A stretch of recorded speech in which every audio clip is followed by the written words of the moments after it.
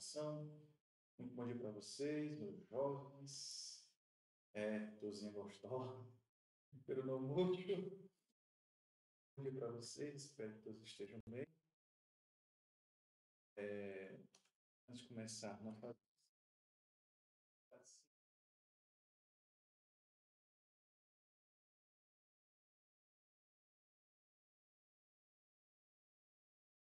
no secreto você Diante dessa manifestação, disso é proibida de seus santos imagens tem expressa autorização de seus participantes. Portanto, caso vocês não queiram aparecer nesta gravação, eu me disse que eu vos renoverei na edição. Então, vai ficar aqui.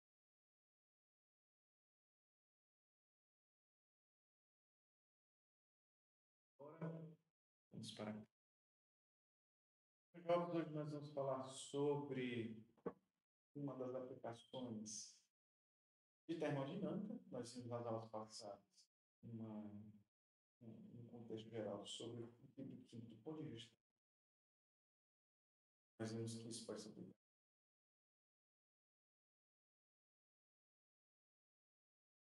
Há também a possibilidade de se obter uma solução sólida, mas nós vamos ver mais adiante, quando tratarmos distâncias bastante conhecidas, nós vamos falar um pouco aí sobre o diagrama de azotropia e eutético, tá? Mas é, todos os equilíbrios químicos, independentemente da sua natureza, eles têm um fundamento termodinâmico.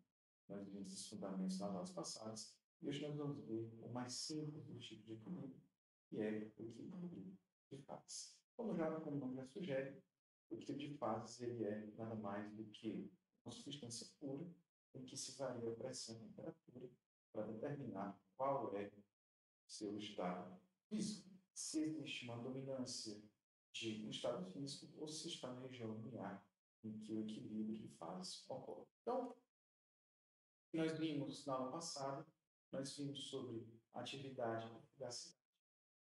Bem, o que significa cada conceito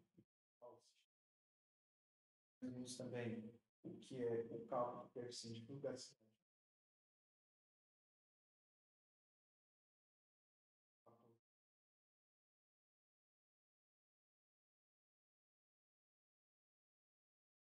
Nós vimos como a atividade de soluções ocorre em função,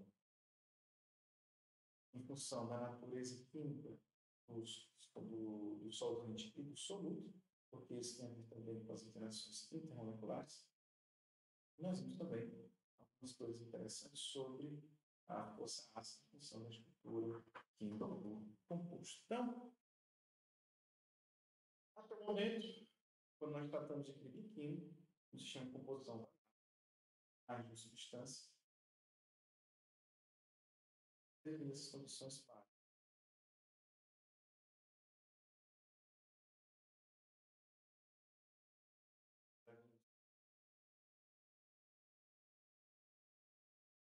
Somente equilíbrio químico, que é potencial químico de A igual a potencial de B, ou seja, o equilíbrio entre as duas situações termodinâmicas tem que ser igual. Porque quando isso acontece, necessariamente a temperatura será constante e a pressão também será constante. Então, quando temos a igualdade de potencial químico, necessariamente, necessariamente nós estamos em equilíbrio térmico, equilíbrio de pressão.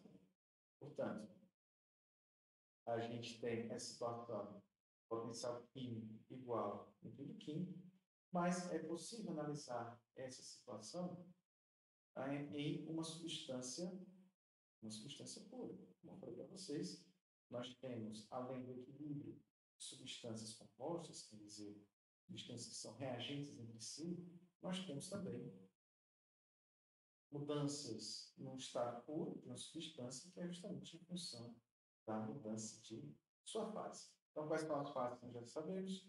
Sólido, líquido, gasoso, plasma. Essas são as quatro fases predominantes na natureza. Nós temos, na verdade, na prática, três, porque as três, a sólido, líquido gasoso, são as três que são, é, são as três que são mais importantes do ponto de vista termodinâmico, porque elas são definidas via equilíbrio químico. Já a quarta situação mais extrema de energia não considerada dentro do, da termodinâmica de equilíbrio. Então, por que quando isso é possível? Quando nós temos o potencial químico, porque pode estar relacionado tanto a diferentes componentes ou ao componente em específico. Então, como é que a gente pode avaliar? A gente pode avaliar nós estamos em situação Realmente nós temos situação.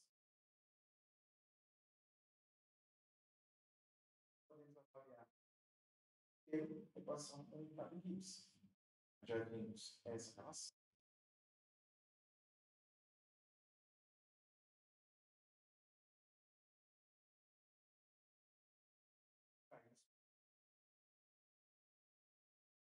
Como nós precisamos verificar como o potencial químico vai se comportar com substância pura, basta que divida todo mundo pelo de mols. Então, DG sobre N dá DI, que é justamente o potencial químico, e vai ser igual a quem? Se eu estou dividindo DG por então todos os termos da dependência de mols com quantidades molares. DG dividido por N vai se tornar potencial químico, menos é, F por N vai se tornar a entropia molar,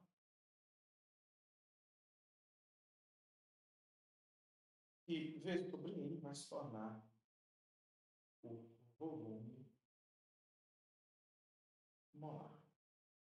Então, quer dizer, nada mais é do que uma grandeza termodinâmica dividida pelo seu número de mols. Então, o potencial químico individual dele no substância depende das entropias e volumes molares dessa mesma substância. Então, essa é a parte da hemodinâmica do sistema, quando nós analisamos o sistema puro. E qual é a prática disso? Nós temos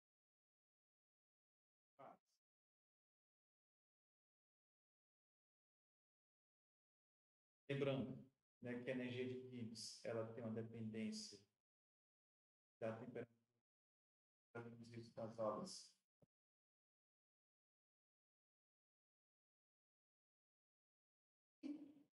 Já que nós estamos nós dividimos todos o número de nós temos uma terceira dependência, que é justamente de N. Como a substância pura, então, o número de mols do sistema é constante. Portanto, eu posso simplesmente fazer a dependência do potencial simplesmente pela temperatura e pressão. E como é que eu expresso graficamente essa dependência?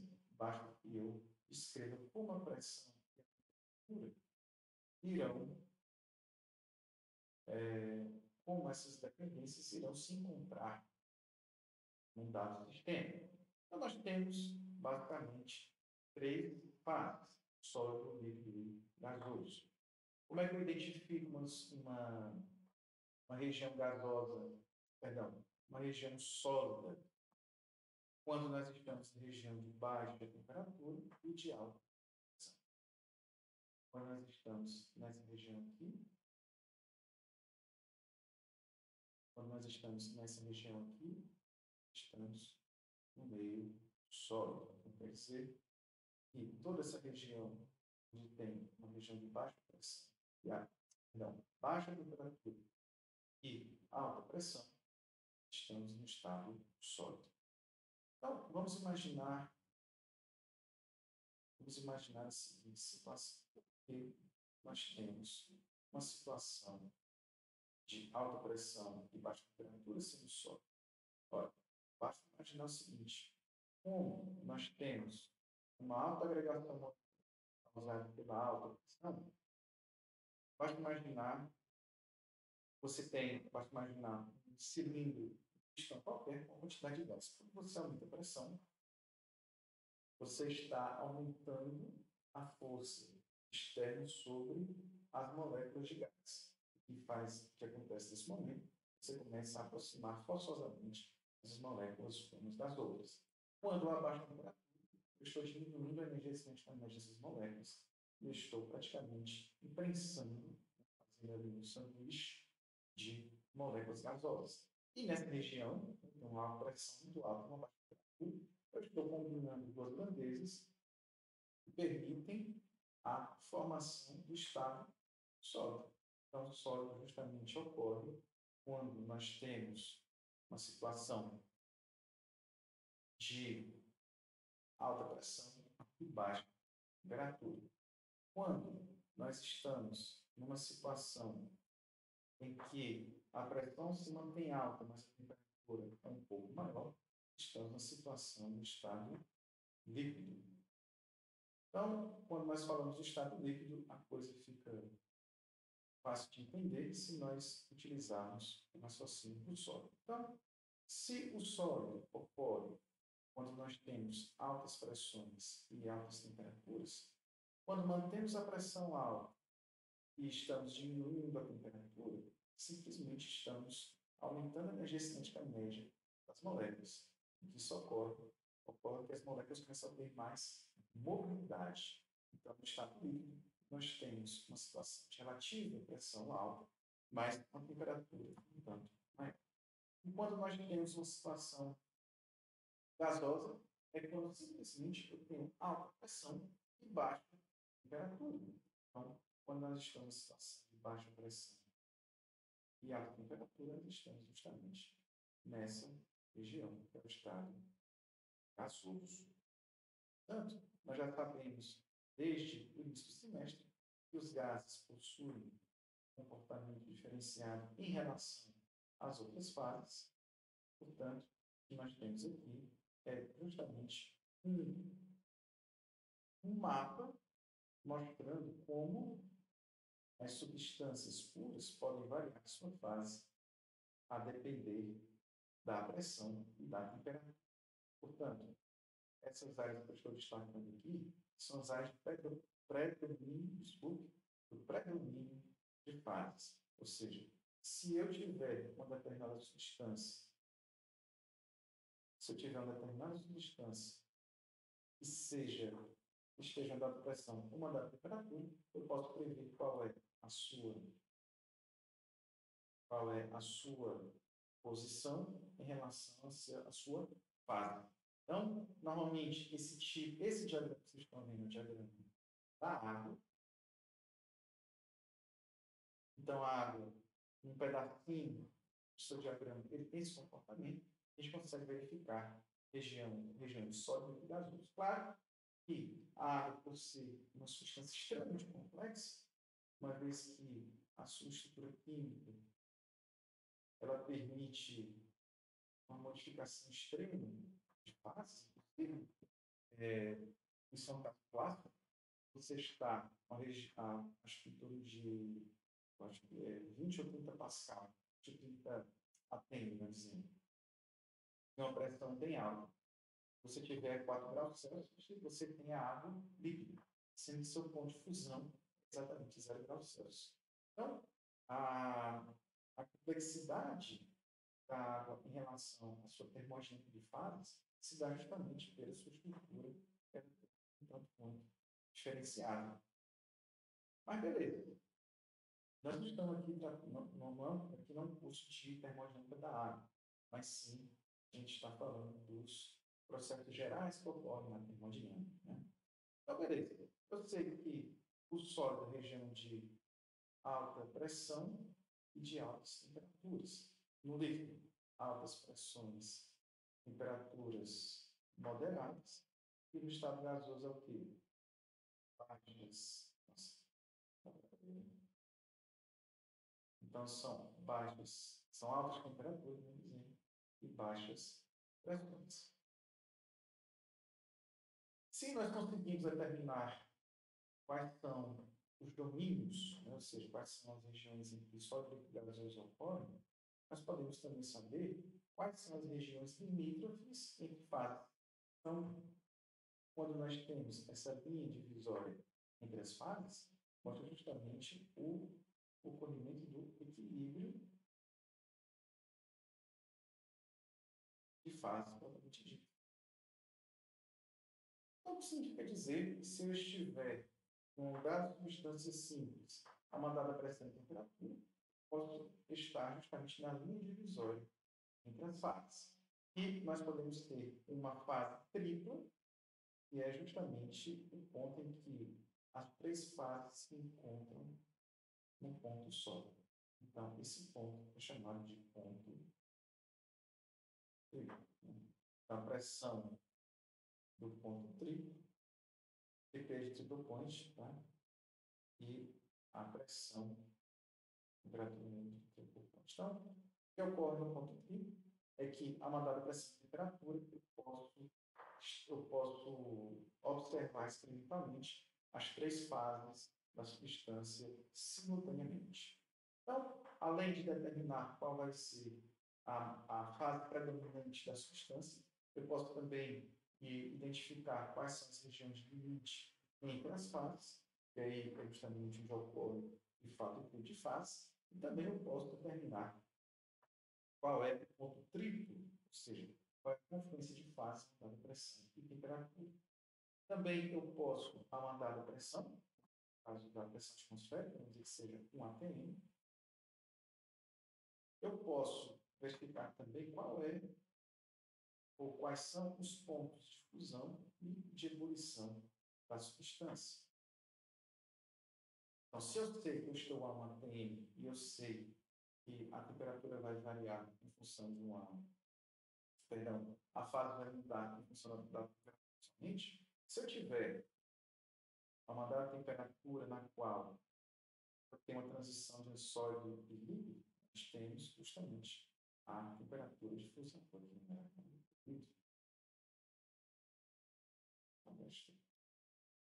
Nós temos aí entre sólido e líquido, nós temos o ponto de fusão.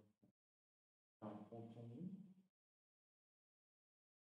é o ponto, ponto de fusão.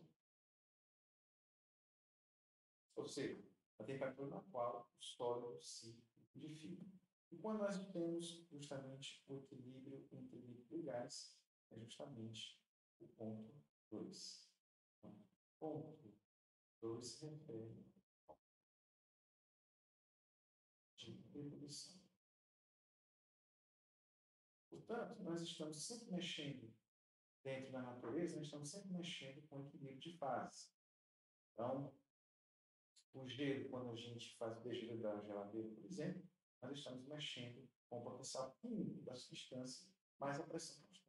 Então, qual, coisa, qual vai ser a grandeza está sendo variada? É a temperatura. Da mesma maneira, a gente faz a secagem no sol, por exemplo, faz lavagem de roupa, nós estamos fazendo nada mais do que forçando a mobilidade molecular para que o líquido saia evaporado da roupa. Então, nós estamos justamente mexendo nessa região. Sempre estamos mexendo direto e indiretamente com o líquido químico, mas sempre com pressão ou com ar temperatura. Então, qual vai ser qual vai ser a equação que vai fazer questionamento, a, qual, vai, qual vai ser a equação que vai mostrar para a gente os fundamentos termodinâmicos do equilíbrio de fase.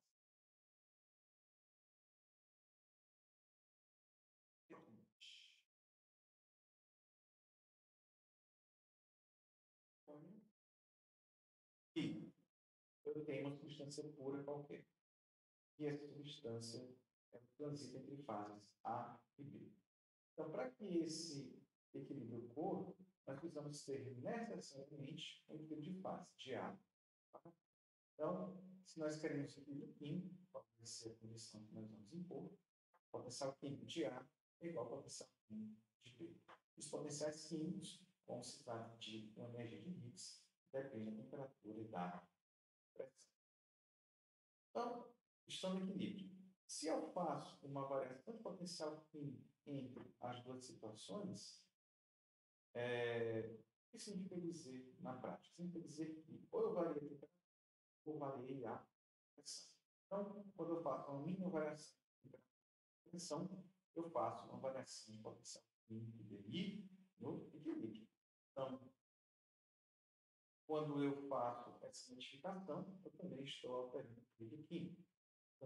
Esse termo pequenininho DI vai ser correspondente tanto para A, e aí nós adicionamos esses termos dentro da equação, representando justamente essa perturbação do equilíbrio. Então, como a situação está em igualdade potencial, esse valor tem que ser igual em ambas as situações, ou em ambas, ambos os lados da. Então, como a gente impôs a situação de equilíbrio,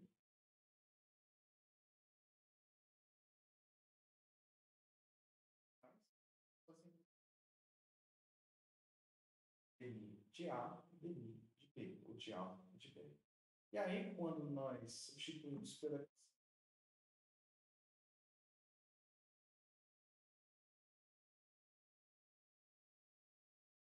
nós temos uma quantidade de entropia e de volume do sistema entre as fases. Então, quando a gente junta essas equações, nós chegamos justamente nesse dp dt igual a delta S por delta Portanto, o equilíbrio de fase passa por uma variação de entropia e de volume molares entre essas fases. Então, voltando ao diagrama eu acho que fica bem claro a, a ideia de volume e de entropia quando a gente observa mais uma vez o diagrama de. Quando nós, nós temos uma substância sólida, significa dizer que estamos em região de alta pressão e de alta temperatura. Então, se a variação de entropia no sólido, a variação de entropia será negativa. Portanto, nós temos aqui um termo dp que vai permitir uma queda na curva. Então, a curva do equilíbrio de faces entre pressão e temperatura vai diminuindo, certo?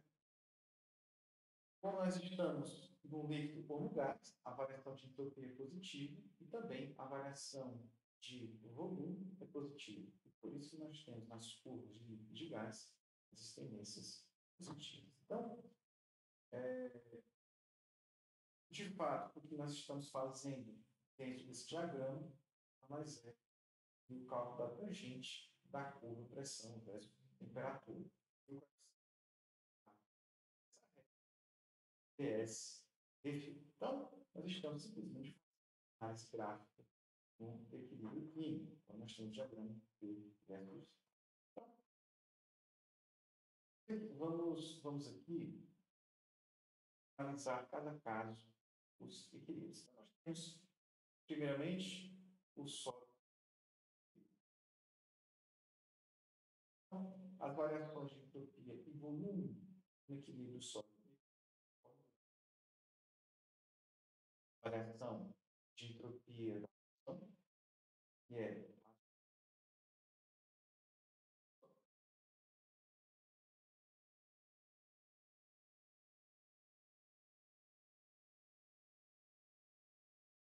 nós estamos equilíbrio a transformação ela é reversível.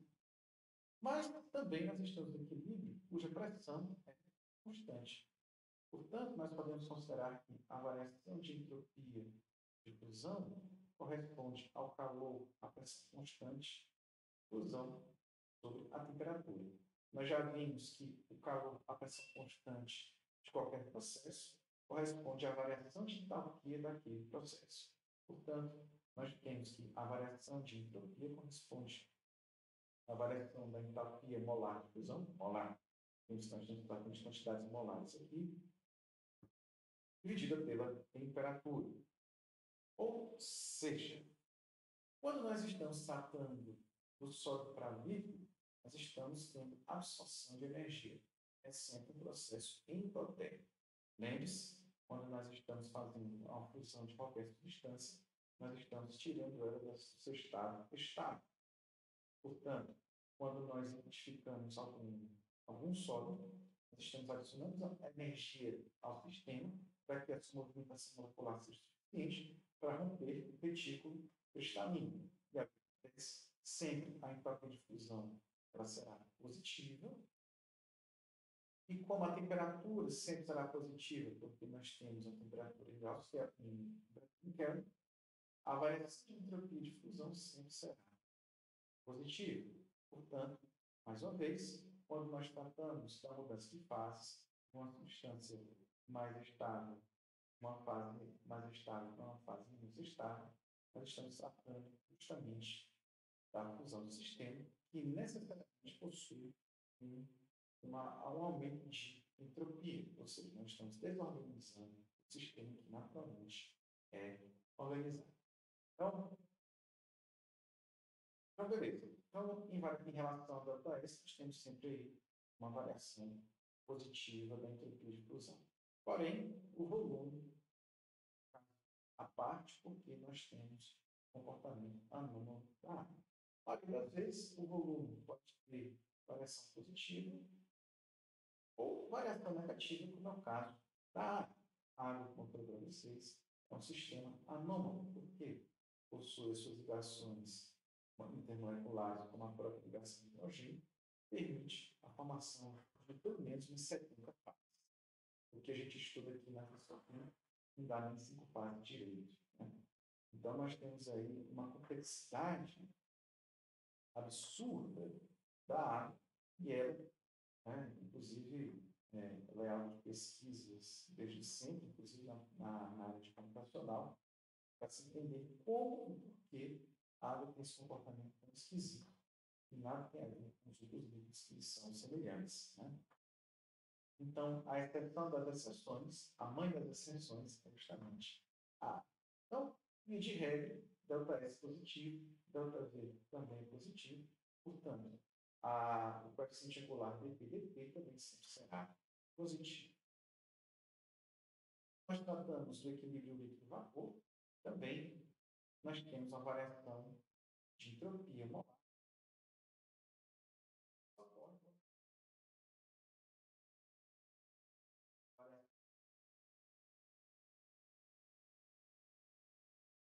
do vapor e do líquido e a variação dos volumes de vaporização dos vapores da substância líquida.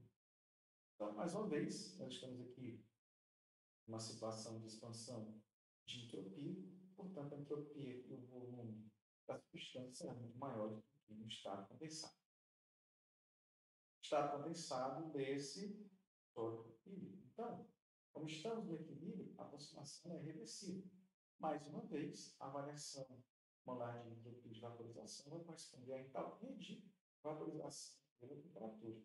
Como na fusão, Aqui na, na vaporização, nós temos o quê? Um processo endotérmico. Portanto, a variação de entalpia de vaporização é positiva e a temperatura em Kelvin sempre será positiva. Portanto, a relação da entropia sempre será positiva. Então, a, a, variação de volume molar do sistema sempre será positiva, porque nós estamos aí aumentando a quantidade nós estamos aumentando o volume de fato, o volume efetivo da molécula por conta da sua vaporização. Então, se eu tenho 50 ml de água da temperatura ambiente, se eu aqueço essa água sua temperatura de ebulição, ela aumenta, por exemplo, lá para, sei lá, 400 ml. Então, esse aumento de volume corresponde também ao aumento de entropia, e sempre será positivo. Então, nós temos essas situações e nós temos também a terceira situação, que é o equilíbrio Então, as variações de entropia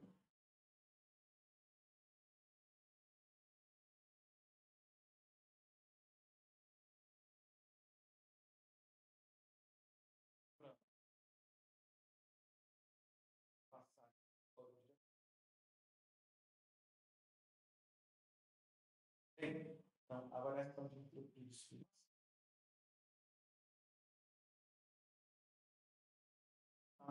a variação volume sublimação, será a diferença do volume de vapor, do vapor da substância menos o volume do seu estado sólido. Então, sempre será uma quantidade positiva, portanto, nós temos o termo dPdt como como sendo sempre positivo. Então, percebam que quando nós estamos com uma determinada pressão e temperatura, a gente consegue, pelos dados termodinâmicos de troca de entropia, de volume molar, de entalpia, a gente consegue determinar e fazer a montagem do diagrama de fase. Portanto, tudo aquilo que nós já vimos de, da termodinâmica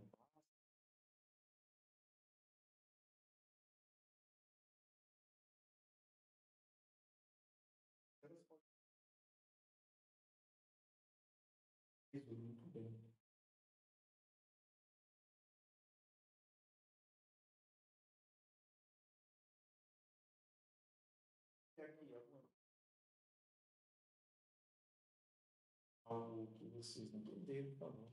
Diz aí para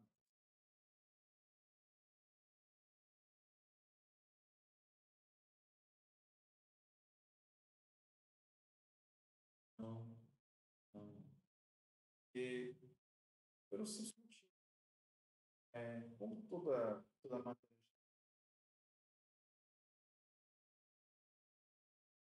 e, e essas quantidades energéticas sempre estão em trânsito.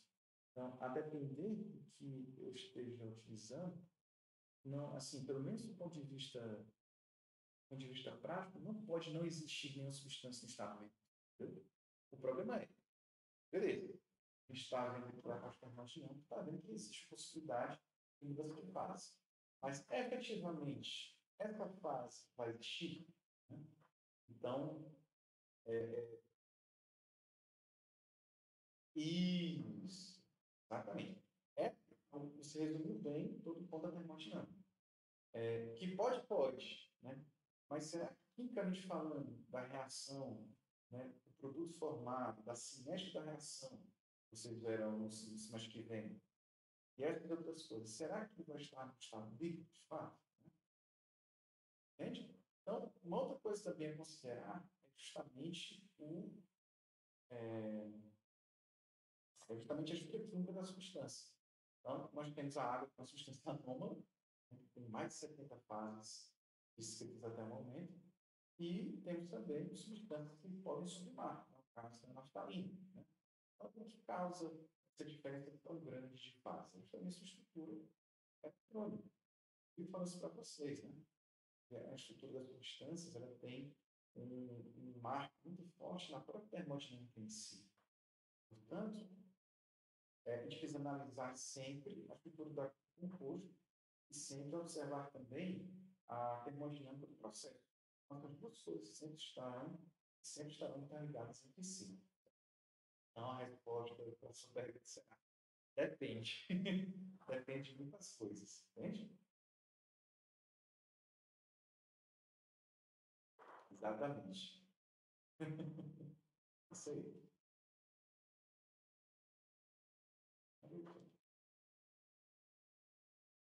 Bom, gente, mais alguma coisa que vocês gostam de perguntar?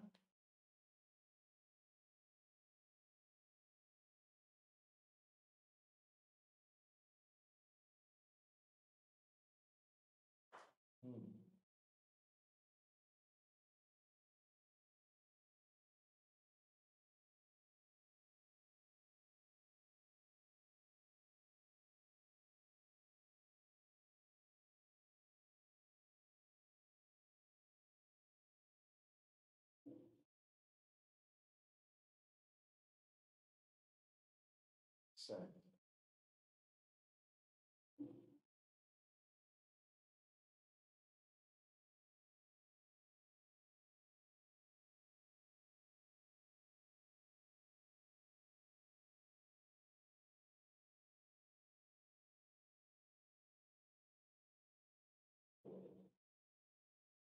Uhum. Sim, sim, sim. Excelente pergunta. É, bom, aí a gente está mexendo numa parte termodinâmica que se chama.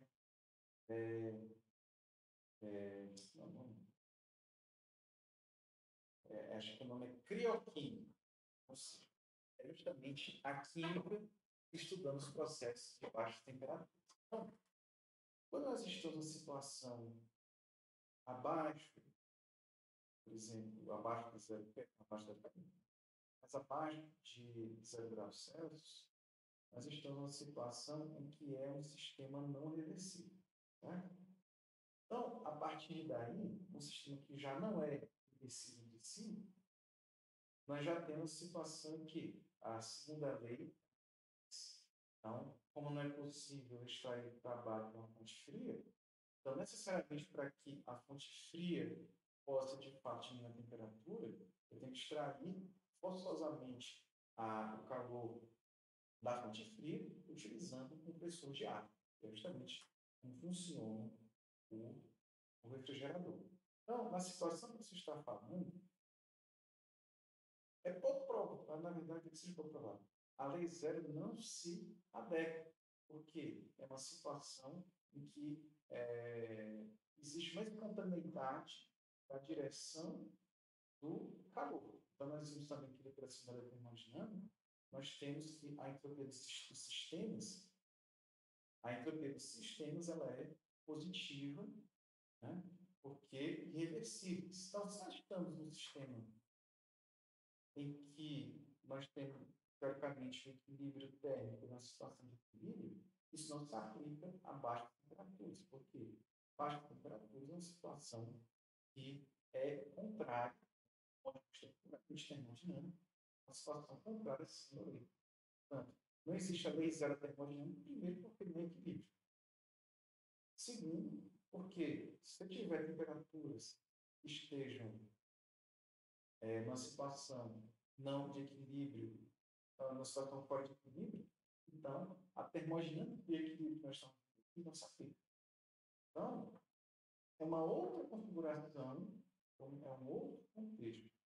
Normalmente se vê o curso de termodinâmica avançado. Né? Então, quando nós estamos em situação de criogênese, né, de formação de baixíssimas temperaturas, a vezes é feita. Porque existe um direcionamento natural de dois pontos quando nós temos um sistema irreversível ou até mesmo reversível. Como não é o caso, então nós estamos fora do equilíbrio. Então, a lei zero aplica. Certo?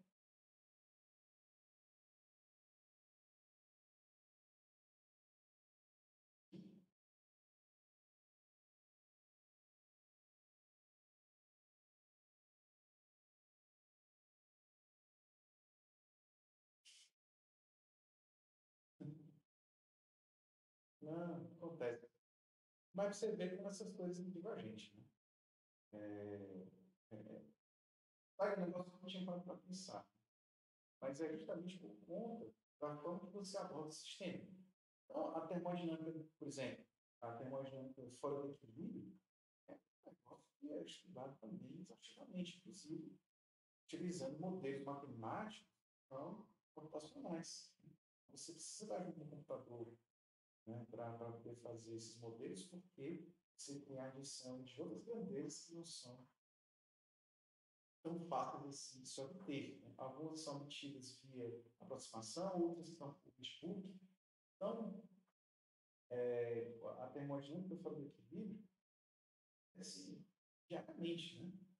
Então, o que vocês veem aqui é justamente o necessário mínimo para que vocês possam entender coisas mais complexas que virão no futuro. Entende? Então, a termodinâmica fora do equilíbrio é um grande filão, não somente científico, mas também técnico de engenharia. Se você conseguir dominar isso, você está dominando um, um passo interessante, um, um, um, nicho interessante dentro dos projetos de engenharia. Né? Não, não desprezem nem a matemática, nem desprezem os métodos computacionais, porque isso pode ajudar você no futuro. Né? Então, Jobs, a termodinâmica do equilíbrio é interessante, mas para o equilíbrio também é completamente interessante também. Tem essa matemática toda para arrochar. Aí a dica, acho que é interessante vocês né, considerar essa situação.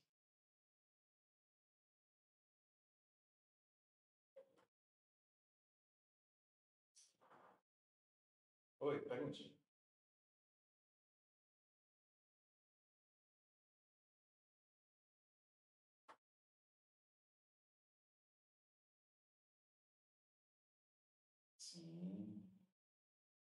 Tava bom.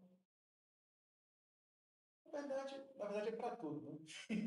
Conversei com ele, ele disse, ótimo, desde eletroquímica, síntese, você imaginar está tá.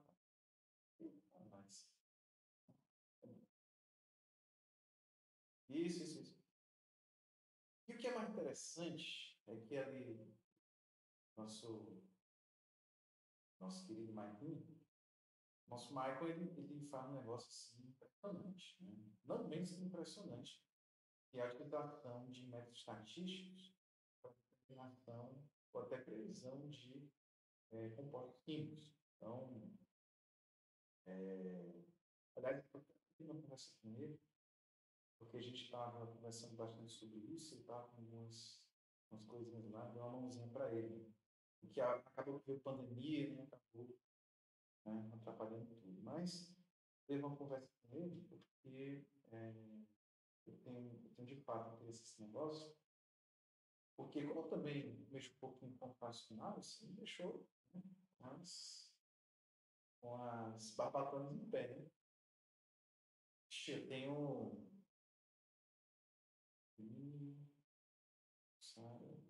Eu tenho cinco orientantes e um aluno de mestrado. Né? Dois, duas na computacional, duas na experimental e um que é mestrando, entrou agora na seleção do time. Né? Então, a ideia aqui é fazer a junção né, da parte ambiental com computacional. Né? Então, o Michael já, já me passou a cantar, né? mas eu vou conversar com ele sobre isso, para a gente fazer essa previsão de resultado. Né? E aí eu vou ter que dar. Então, o Michael, né, inclusive, ele também, a paixão dele é justamente a, a água. Boa parte dessas coisas da água que eu falo para vocês foi porque ele me ensinou. Então, a gente vivia conversando nessa pré-pandemia, né? Há uns 40 anos atrás, a gente ia pro, pro, a gente andava na rua, né? então, a gente conversava é, tempo, né? então, a gente conversava bastante sobre isso. Né? Eu ficava, eu ficava, eu ficava encantado com as coisas, né? Então, eu aprendi muita coisa da água com ele. Boa parte da sala também está baseada no ele me explicou, né? nas, na, na, na, nas discussões científicas por aí, né? Pegada espetinho e, e Guaraná Antártico de adultos, né?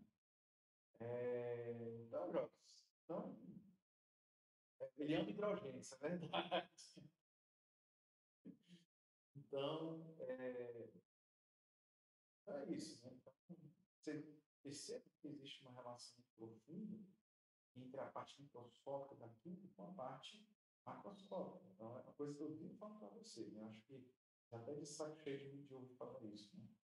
A parte eletrônica estrutural das grandezas macroscópicas, que nós vimos, né?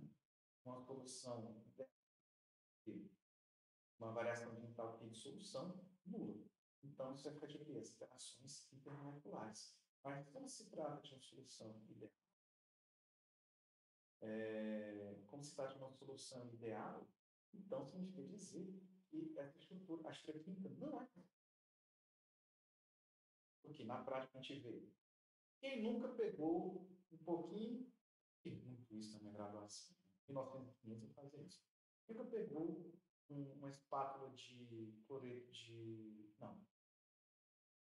Nitrato de sódio Lascar uma coisinha de de potássio deve sentir bicho gelado.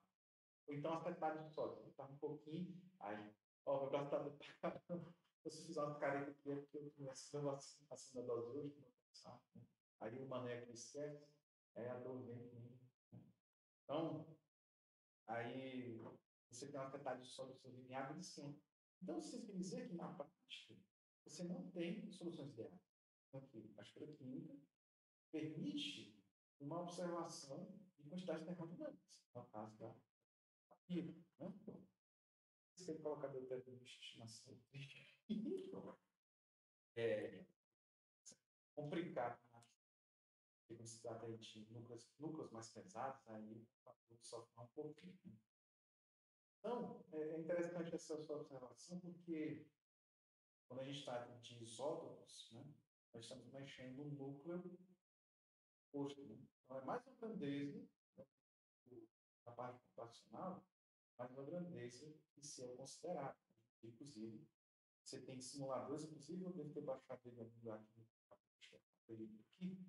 Eu encontrei um programa, um script que, que roda, é, que ele simula espectrometria de massa. Então, eu posso colocar a molécula, eu coloco um método de cálculo e diz para qual seria a previsão do espectro de massas para dar distância. Né? Então, isso é interessante do ponto de vista experimental, porque, imagine, é, vamos supor que você trabalha com modificações de composto químico qualquer. Então, você tem lá um compostozinho ali, né? você pega lá o seu fungo, sua bactéria, em contato com ela, você tem uma biotransformação. Então, você tem uma acetilação lá de um, sei lá, um polímero qualquer. Acetilação causa um efeito farmacológico, sei lá, pressão, amibilado beta-bloqueador das suas células, então você tem uma diminuição de pressão e é um produto com mais escalabilidade, ou seja, é barato de fazer, ele não é caro e tem uma alta atividade farmacológica. Né?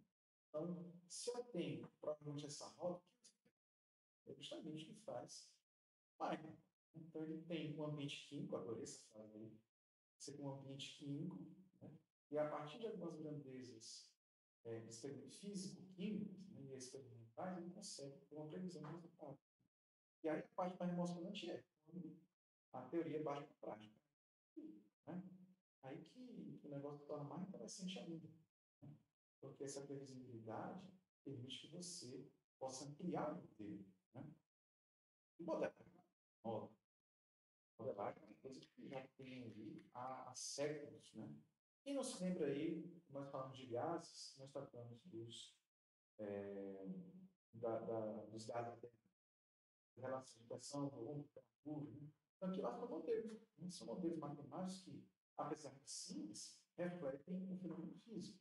Então, imagine a, você conseguir refletir um modelo, por exemplo, né, sei lá, é, uma situação atual. O regime de chuvas do Brasil nos próximos 20 anos, né, em função lá de grandezas termodinâmicas, é, de climatologia, né, de, de é, geoquímica, assim por diante. Né?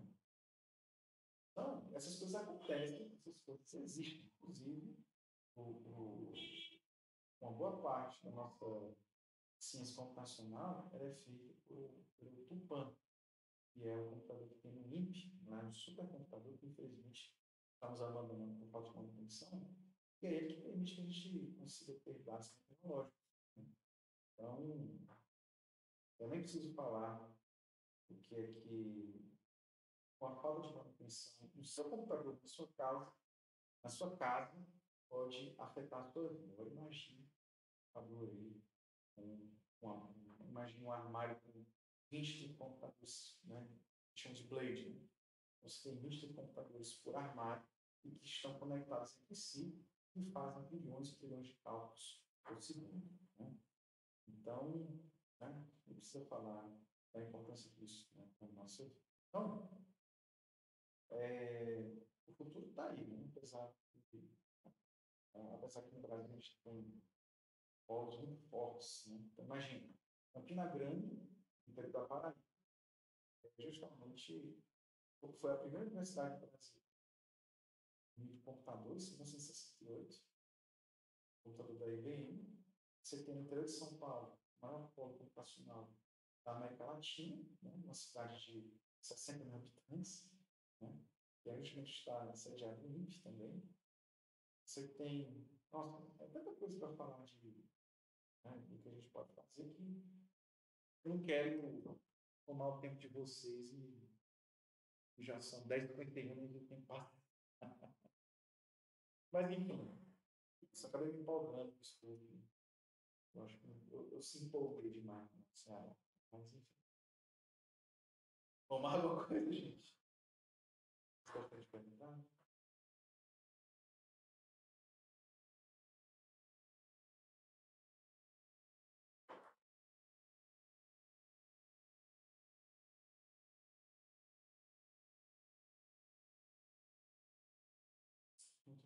Bom, já sabe, se vocês tiverem alguma pergunta, por favor, fique à vontade. A qualquer momento, tá?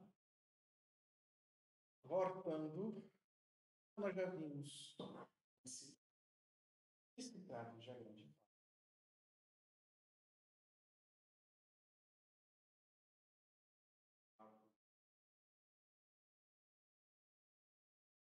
PT responde a JS.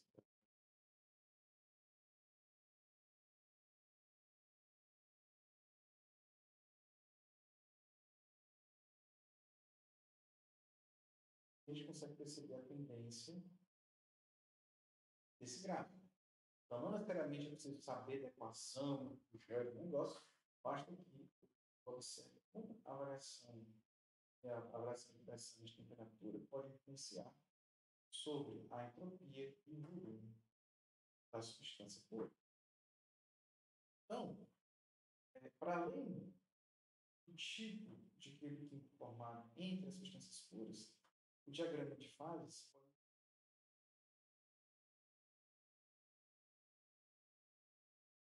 nós temos uma situação de sólido, líquido gasoso, nós podemos ter estruturas químicas e correção a essas estruturas. Então, nós vamos ver um, diagrama pequeno, né? que não está no detalhe esses negócios fluidos. Né? Além disso, além da situação que a gente pode determinar a fase do sistema, a gente pode encontrar uma região na qual não existe transição de fase alguma, justamente o ponto crítico. Nós já vimos isso é o ponto crítico, é, é a região, né, ou a temperatura e pressão da substância, na qual a gente não consegue diferenciar qualquer fase. Nós já vimos que a, o ponto crítico ele é termodinamicamente observado, também tem muitas aplicações, no caso do descafeinamento do grão de café. Então, então se você tiver essa oportunidade de tomar café descafeinado, né, é muito sem graça, é muito triste de tomar um café descafeinado, mas não deixa de ser interessante a forma que se utiliza o ponto crítico para isso.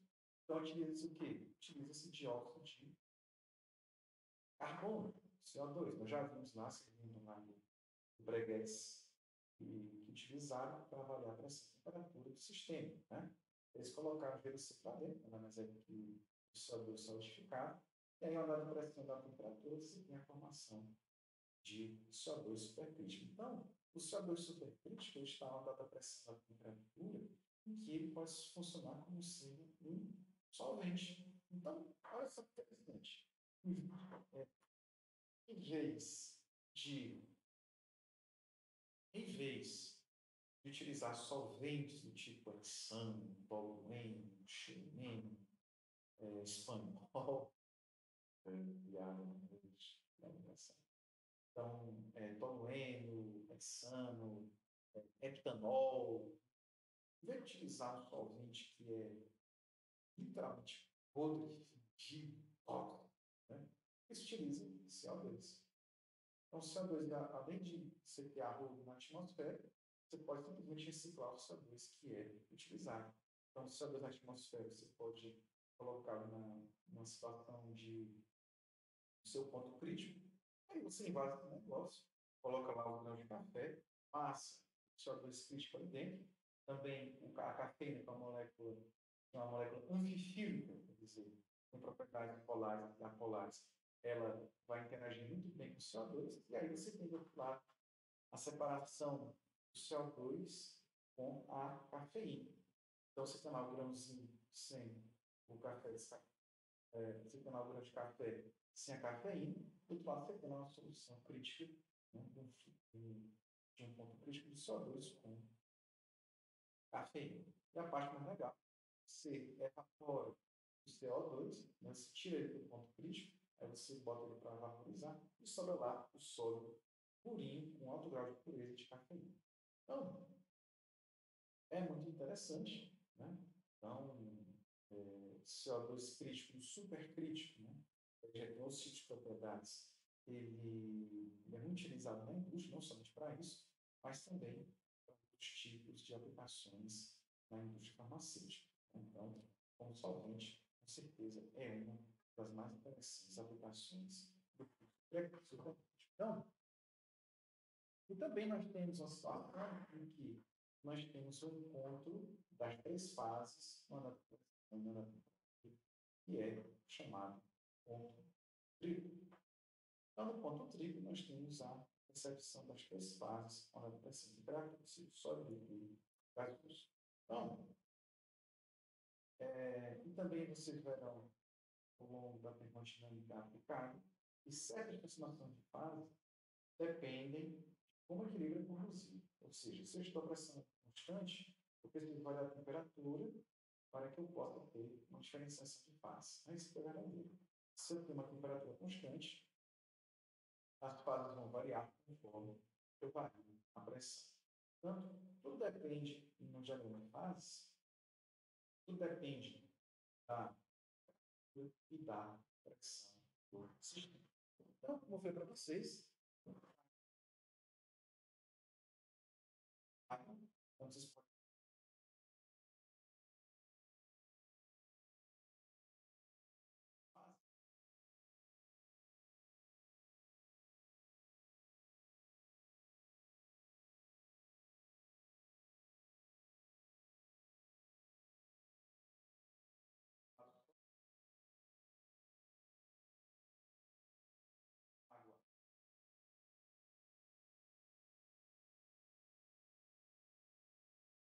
Temos uma forma de sabonal da água também.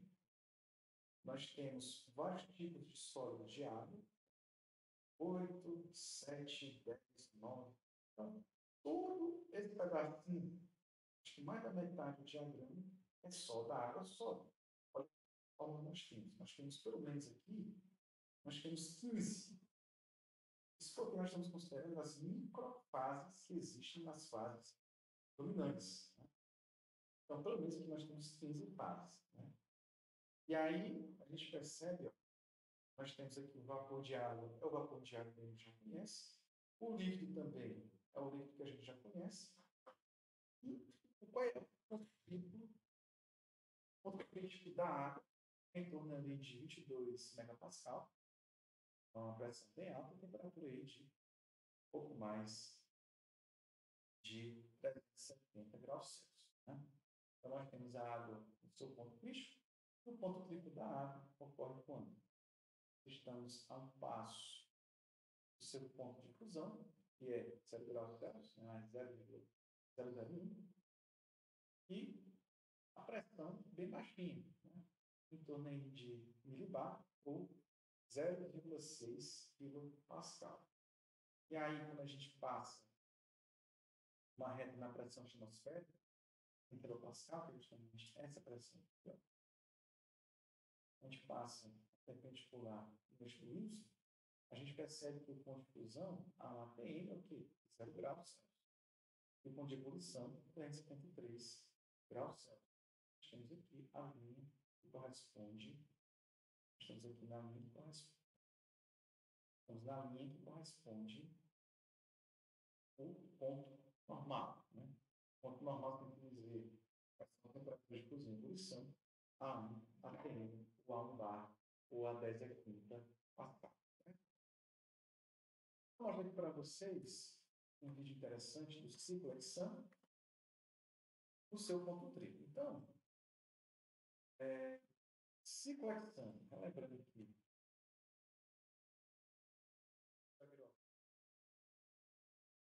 Exam ele é um composto de hidrocarboneto cíclico.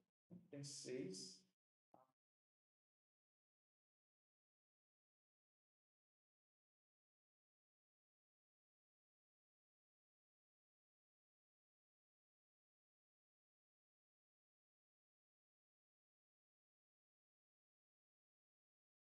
Ele naturalmente, ligado a esse ATM, ele é uma substância líquida. Porém, quando nós fazemos uma variação de pressão e temperatura, por exemplo, como é o caso aqui, nós temos um balão de fundo redondo, então tem uma certa quantidade de, de circulação, e esse aqui está ligado a uma bomba de vácuo. Então, o que está acontecendo aqui, eu vou ligar a bomba de vácuo, vou fazer a diminuição da pressão. Como não é um sistema termostatizado, vou estar também variando a temperatura. Lembre-se que, quando nós temos temperatura, é uma relação estatística média das moléculas. Então, se eu estou variando a pressão, eu também estou variando essa temperatura estatística média. E, consequentemente, eu estou variando a temperatura do sistema. Então, vamos ver aqui. É, vamos ver aqui.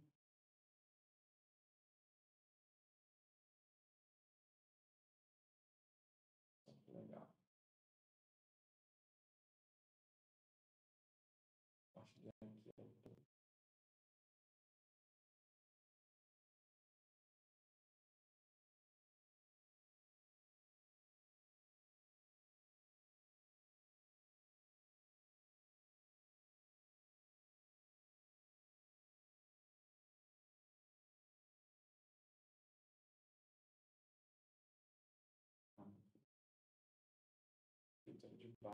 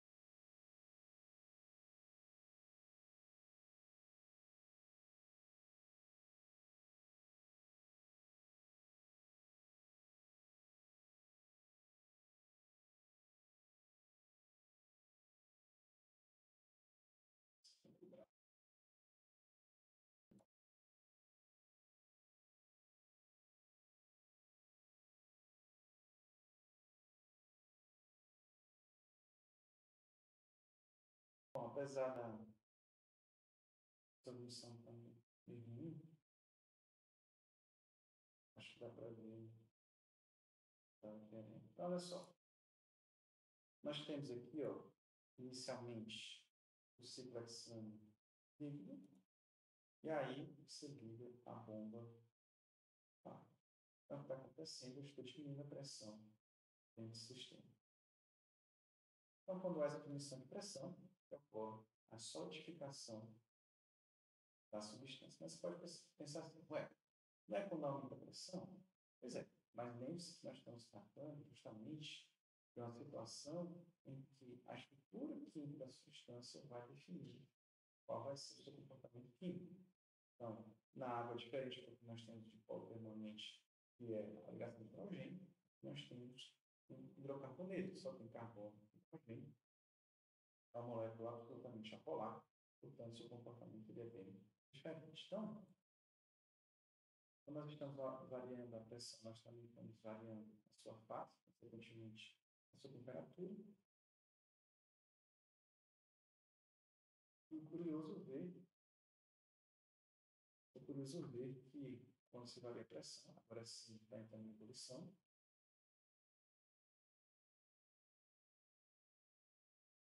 Já está próximo, provavelmente já está próximo do ponto triplo. Então, olha só, então começar a ver de fato a ebulição. Pena que o vídeo não dá muitos detalhes assim de como o experimento foi feito, mas eu acho que você ilustra bem como que, é, como que, como que se ocorre, que é justamente assim. Né? Eu acho que tem um vídeo melhor para mostrar, que é, vai aparecer esse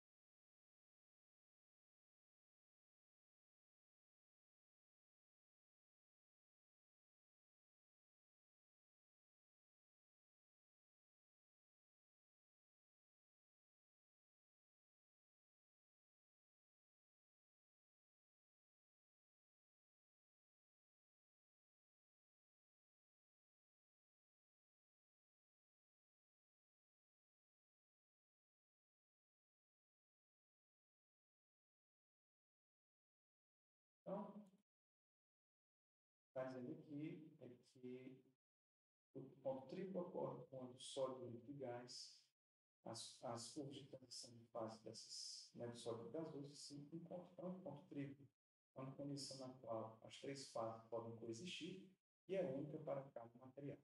A água atinge o seu, seu ponto triplo a um pouco acima da sua seu ponto de fusão, que é 0,1 graus Celsius, uma baixa pressão de 0,006 atm. Então, olha só o que acontece. Então, ó, você tem água com gelo colocada dentro de uma câmara de vácuo e depois fez o quê? Você fez a diminuição da pressão que você está fazendo vácuo. Né? Olha só o que acontece.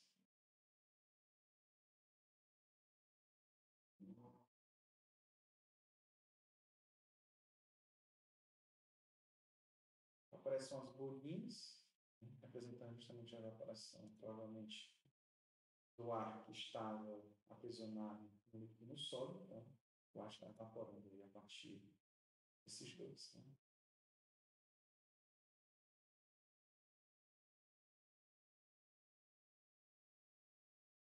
Também provável que agora comece a evaporar a água. Né? Então, nesse ponto, a água começa a evoluir. Nós temos justamente a evolução da água.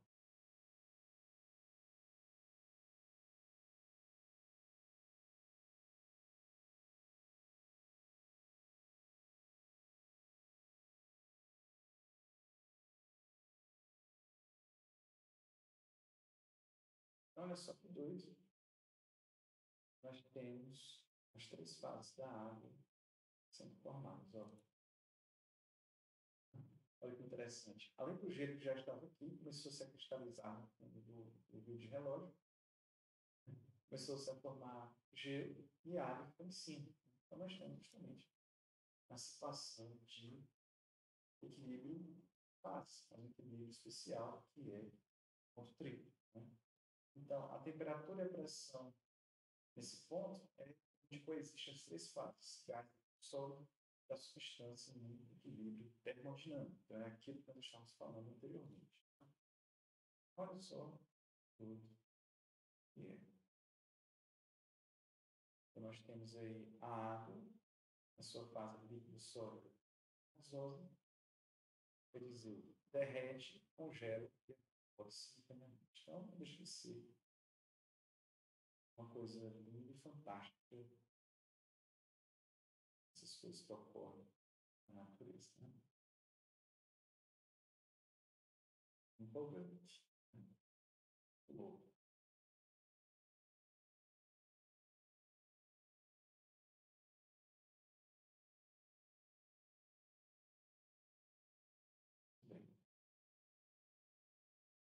É... Bom, aqui dúvidas, perguntas? O que acontece microscopicamente quando faz aquela parada de colar, colocar gelo, sal e álcool para gerar um vídeo mais rápido?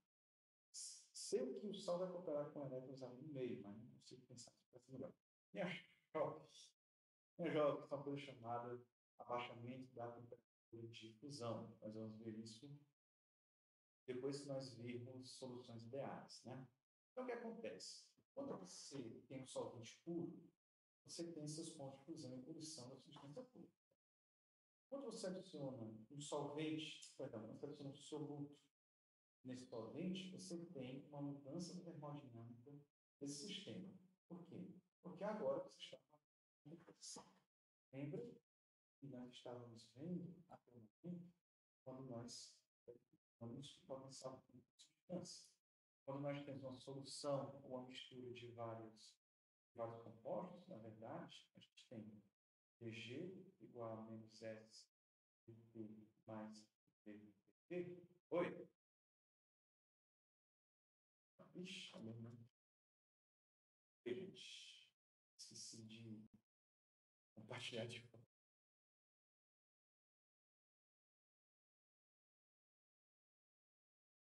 Então, como eu estava dizendo, é, qual é a energia que uma substância quando nós temos uma, uma, qualquer? zero pt mais v do p,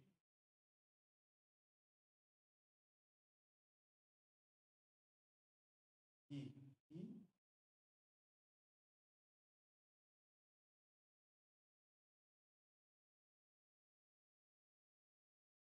nós temos a equação. Do lucro dentro do solvente, nós mudamos a termodinâmica do sistema. E o sistema ele vai se reorganizar de modo a chegar no equilíbrio anterior. E como é ele faz isso? Ou varia a pressão, ou, ou varia a sua pressão de vapor, ou varia, na verdade, não, não é varia P, varia I. Varia a a sua temperatura de fusão, a sua temperatura de ebulição, a sua pressão osmótica e a sua pressão de vapor. Então, simultaneamente, essas quatro mudam. E quando nós falamos das quatro propriedades de um solvente que se altera pela adição de um solúvel, nós chamamos de propriedades poligativas, ou seja, são propriedades que se ligam entre si. Se eu vario um, estou automaticamente variando as quatro. No caso, quando você, normalmente o pessoal ou coloca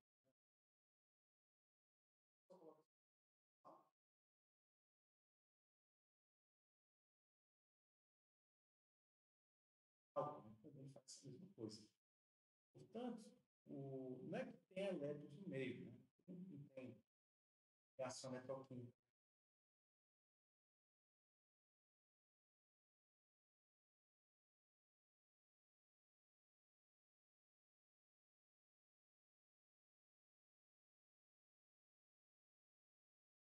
Também, os, nós vamos ver isso quando nós temos uma, uma o fluido de arrefecimento, né?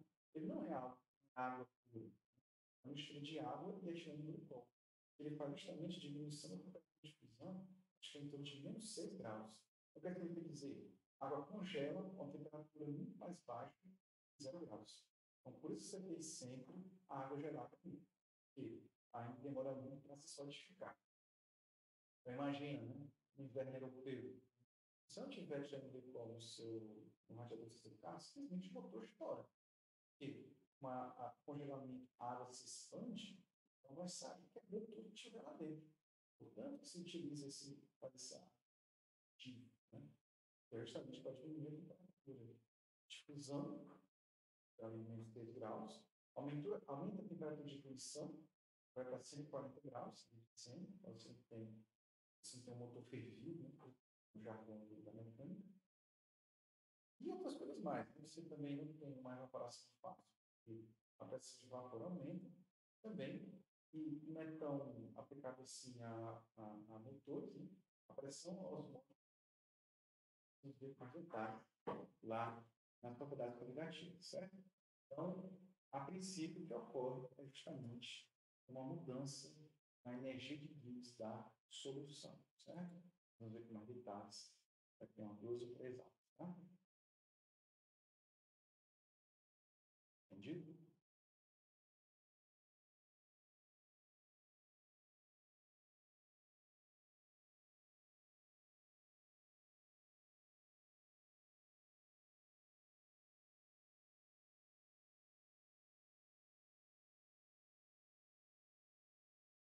Pergunte.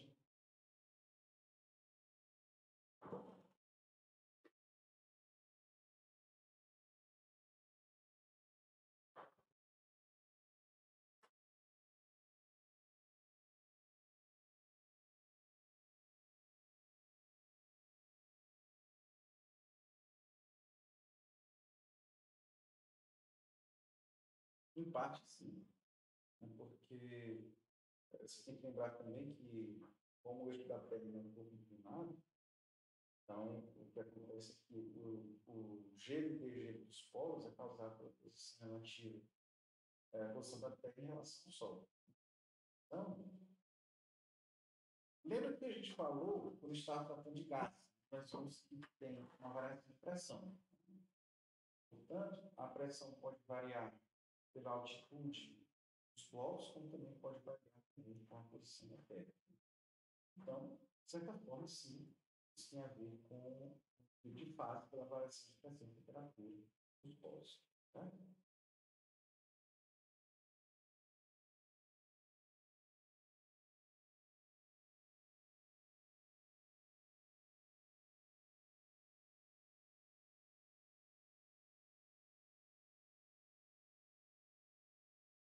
Água pouco, gente. Perguntar?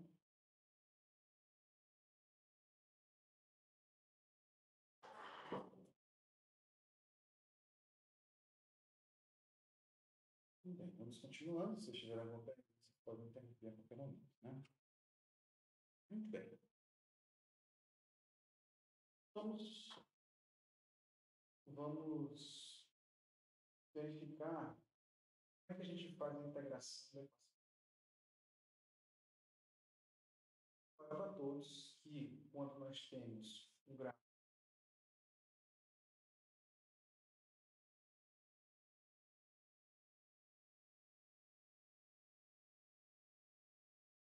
estamos calculando a mais zero, porque o coeficiente angular daquelas curvas que ocorrem entre as fases da pressão, pressão e temperatura. Então, quando nós fizemos a dedução da equação de Claudio-Paperon, nós estamos fazendo nada mais é do que a resolução de uma equação diferencial.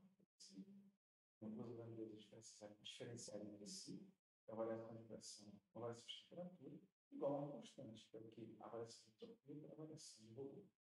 Então, nós podemos resolver essa equação em duas situações. Primeiro, no equilíbrio sólido Segundo, no equilíbrio líquido-vapor e sólido-vapor, e podemos resumir numa única, único equilíbrio, que é qual? De fase condensada, vapor. Então, vamos ver primeiramente o equilíbrio sólido-líquido, vamos ver o que acontece. Então, quando nós temos equilíbrio sólido-líquido, nós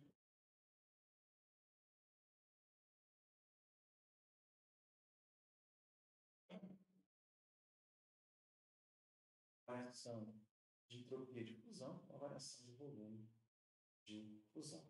Como nós estamos variando entre duas pressões, também precisamos fazer uma mudança de temperatura. Então, sai variamos a pressão de P1 para P2 para resolução da integral. Essa temperatura de fusão vai em função da pressão.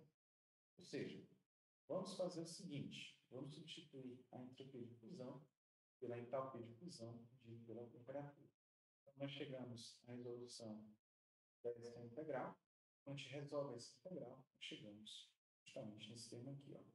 A variação de pressão ela depende da variação de fusão do sistema, da entalpia de fusão do sistema, da variação de volume do sistema e da razão logarítmica entre as duas temperaturas de fusão nas suas respectivas pressões. Já quando nós temos uma situação na fase condensada, líquido vapor ou sólido será processo de vaporização e de sublimação. Então, nós estamos aqui condensando dois, dois tipos em uma só, porque o raciocínio é idêntico. Você pode aplicar problema nenhum. Então, quando a gente generaliza os valores molares a partir da equação de Clausius-Laperon, o que a gente observa? Substituindo ΔS por ΔH T, e, e quando a gente abre a termo de variação de volume, nós temos esse termo aqui, ó, ΔH igual a T que multiplica o volume do vapor menos o volume da fase condensada. Então, FC é uma fase condensada. Que fase condensada é? Sólido ou líquido. Então, nós temos essa situação em que nós temos o volume vapor e o volume da fase condensada. Então, vamos considerar que, já que nós temos aí na na vaporização, quer seja na vaporização em si e na sublimação, sempre temos a formação de um vapor. Então, vamos considerar que esse vapor seja um gás real. Então, o que vai acontecer? O volume do sólido ou do líquido será tão pequeno que ele vai simplesmente ser desprezível na diferença de volume. Portanto, ele vai corresponder exatamente ao volume do vapor, porque nós estamos na situação de gás ideal. Então, nós temos dp dt igual à variação de entalpia dividido pela temperatura desse volume molar que estamos contando. Quantidade por mols. Então, utilizando a equação de Clapeyron, a gente sabe que o volume molar de um gás é igual a RT sobre P. Então, substitui dentro da relação de Clapeyron, chegamos aqui a essa expressão. Essa expressão nada mais é do que a equação de Van Toff, é uma expressão termodinâmica amplamente aplicada nessas situações. E aí, o que acontece? Nós temos a seguinte coisa.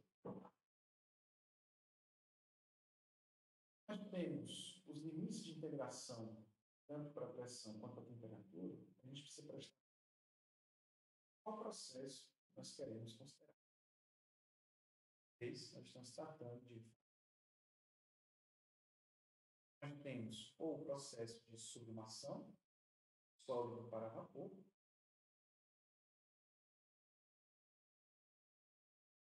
em ambos os casos, o que nós temos? Primeiro, para a sublimação, a temperatura inicial T0 é a temperatura de sublimação do sólido. E a pressão inicial será a pressão atmosférica.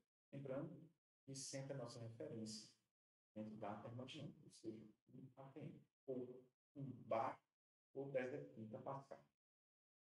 Para a vaporização, a temperatura inicial T0 será de poluição livre, e a pressão inicial também será a atmosfera, ou seja, um ATM. Então, qual vai ser a conta que nós vamos fazer? Quando nós inserirmos o índice de integração em dp sobre p, então P0 terá quanto? 1 e P final será P. Igual. Se a gente considerar que a entalpia do processo não depende da temperatura, ele sai da integral. Sobra quem? Integral de T0 até P, dt sobre P ao quadrado. Então, lembrando que o T0 pode ser de fusão ou de ebulição, o tipo de equilíbrio considerado. E gente chega nessa relação. E a Ln da pressão corresponde a a diferença das temperaturas inversas de um processo. A gente pode fazer uma linearização desse gráfico. De P versus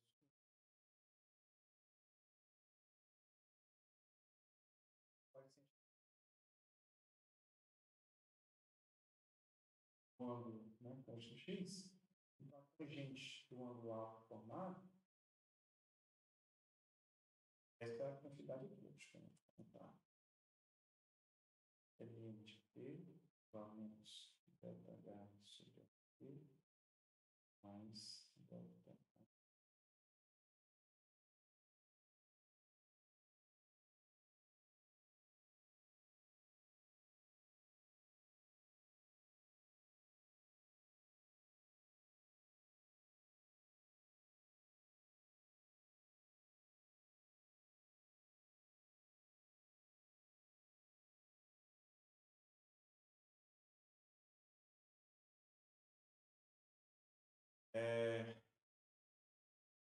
Bom, depois eu vou verificar, acho que está faltando alguma coisa aqui, depois vocês me contam, tá?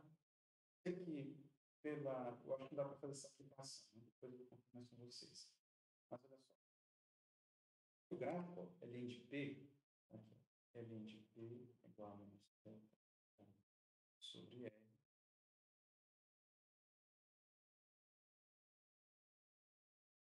Só gráfico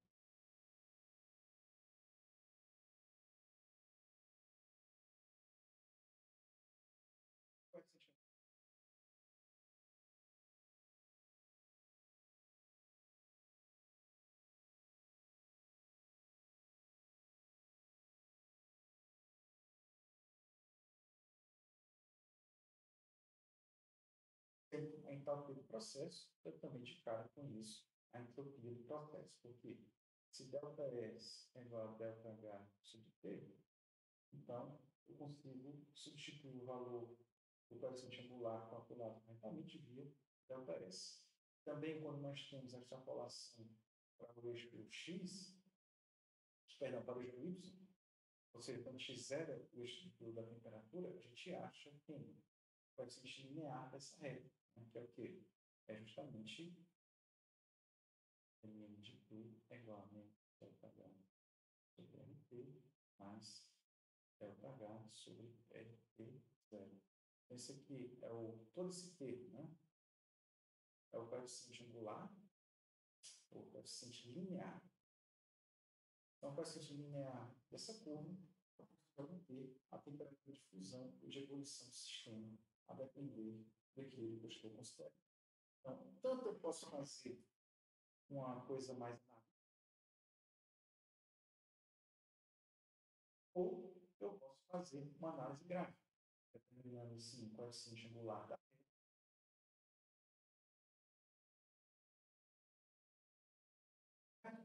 Então, essa que a gente faz, essa análise. Não dá para calcular de outro jeito, porque eu esqueci um detalhe.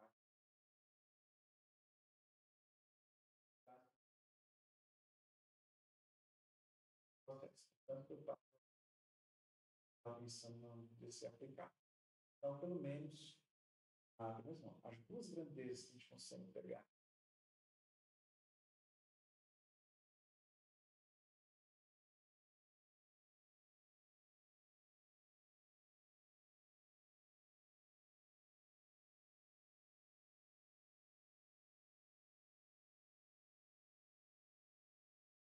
É isso.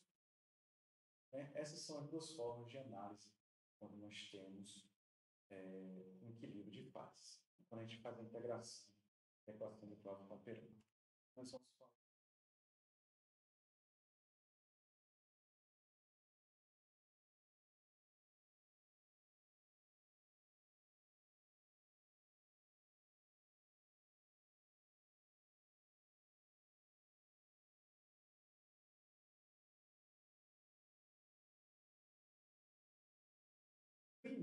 essas quantidades termodinâmicas pelas leis de Henry e a lei de Raoult.